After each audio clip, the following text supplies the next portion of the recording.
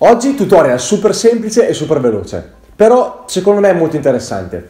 Vedremo come realizzare un effetto blobboso su After Effects. Ora ti chiederai cos'è un effetto blobboso. Un effetto blobboso, ad esempio, è quello che accade a queste due sfere qua di fianco. Cosa succede? Che queste sfere si uniscono come se fossero due liquidi, insomma. Perciò vedremo come realizzare questo effetto in pochissimi passaggi su After Effects, così che tu capisca come applicarlo a tutti i tuoi progetti, in caso tu ne abbia bisogno, ovviamente. Come vedi, l'animazione all'interno di questa composizione l'ho già realizzata. Non è che l'ho già realizzata perché non ti voglio far vedere come l'ho fatta, ma semplicemente perché non è importante. Mi spiego meglio. Quello che accade è che in questa animazione dei cerchi colorati si espandono dal centro e iniziano a girare intorno al cerchio più grande, quello rosso. Non voglio perdere tempo a spiegarti come ho realizzato questa animazione perché non è la parte importante di questo tutorial. E poi dai, non è troppo complicata, sono semplicemente dei cerchi che girano intorno ad altri cerchi. La parte importante è capire come realizzare quell'effetto blobboso attraverso questa composizione che ho già realizzato. Perciò partiamo. Per prima cosa creiamo un livello di regolazione in modo da applicare adesso degli effetti che verranno applicati automaticamente a tutti i livelli sottostanti. Dopodiché rinominiamo il nostro livello come effetto blobboso. Dopo non ci resta che andare a cercare l'effetto che si chiama controllo sfocatura. Perciò andiamo nella barra di ricerca degli effetti e predefiniti, che in questo caso da me è sulla destra dello schermo, e digitiamo la parola sfocatura. L'effetto che servirà a noi è uno degli ultimi, come ti dicevo prima, controllo sfocatura. Perciò lo prendiamo, lo trasciniamo sopra il livello di regolazione o facciamo doppio clic tenendo selezionato il livello di regolazione e lo applichiamo. Dopodiché applichiamo una sfocatura al nostro effetto, all'incirca di 50, e mandiamo in play. Vediamo che comunque con la sfocatura già un po' i colori si iniziano a mescolare, e questo è un indizio. Dopodiché, qual è il prossimo passo? Anzi, direi l'ultimo passo. L'ultimo passo è rendere questa sfocatura nitida. Aspetta che quel 49,6 mi dà un fastidio, mettiamo 50 perché sennò veramente divento psicopatico. Come ti dicevo, il prossimo passo è rendere questa sfocatura nitida. Per farlo andiamo a cercare un effetto che si chiama livelli. Digitiamo la parola livelli all'interno della barra di ricerca degli effetti predefiniti e andiamo ad applicare questo effetto al nostro livello di regolazione.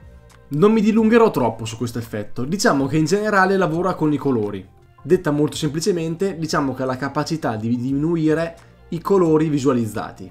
Non è proprio la definizione corretta, ma passiamoci sopra. In questo caso però io non voglio lavorare con i colori, ma voglio lavorare con il canale alfa. Andiamo a attivare un attimo l'alfa nell'anteprima. Il canale alfa è il canale della trasparenza. Come vedi non c'è uno sfondo, e quello che dobbiamo fare noi è rendere nitido il passaggio tra tutti i colori e lo sfondo. Per farlo andiamo a lavorare con il nostro effetto sul canale alfa. Ora noi dobbiamo giocare con l'istogramma che è quel grafico che vedi appunto nel nostro effetto. Come vedi sotto l'istogramma ci sono tre freccette. Avvicinando queste freccette l'una all'altra, riduciamo l'ampiezza del canale alfa, rendendo così più nitida la nostra sfumatura. Se la spostiamo verso sinistra avremo una, una nitidezza in eccesso, mentre invece se la spostiamo verso destra avremo una nitidezza in difetto, mentre invece se la manteniamo al centro abbiamo una nitidezza media, neutra, come ti pare. Adesso troviamo il nostro giusto compromesso, che all'incirca è spostato verso destra ma non è proprio nella metà, e andiamo in play e vediamo che appunto tutte le nostre sfere diventano nitide e si amalgamano tra loro addirittura anche con i colori. Quello che abbiamo creato col livello di regolazione possiamo definirlo un format. Ma che diavolo sto dicendo? Volevo intendere che possiamo definirlo un preset. Ma prima andiamo ad aggiustare un attimo l'istogramma perché ancora non mi piace troppo. Spostiamolo ancora un po' verso destra. Mandiamolo in play e ora sì che è veramente un effetto blobboso.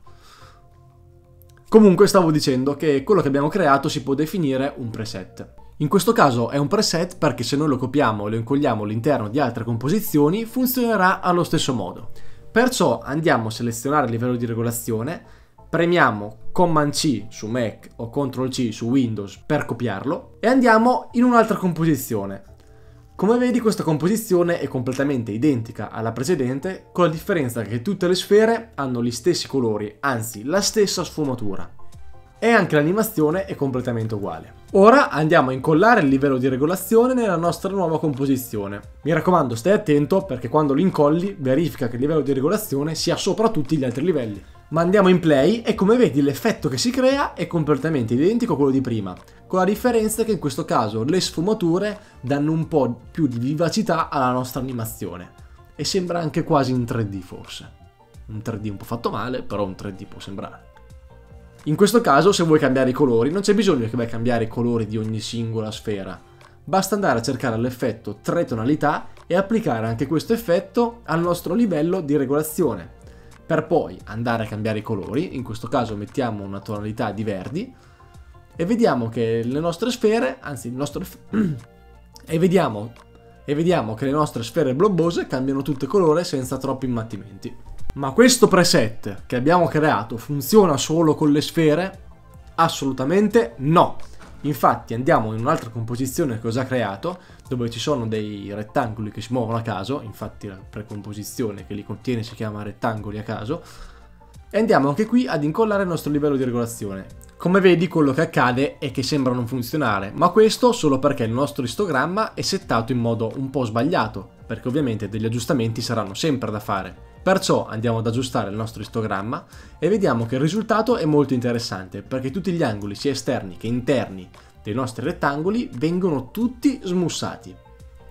Io questa tecnica una volta l'ho utilizzata per realizzare un fumo molto stilizzato. Come visto è super semplice e super veloce e ora potrai applicare questo effetto a tutti i tuoi progetti. Bene, se ti è piaciuto questo video iscriviti al canale, metti un mi piace. Oh, oh, oh, oh seguimi su Instagram. Uh, ci vediamo al prossimo video.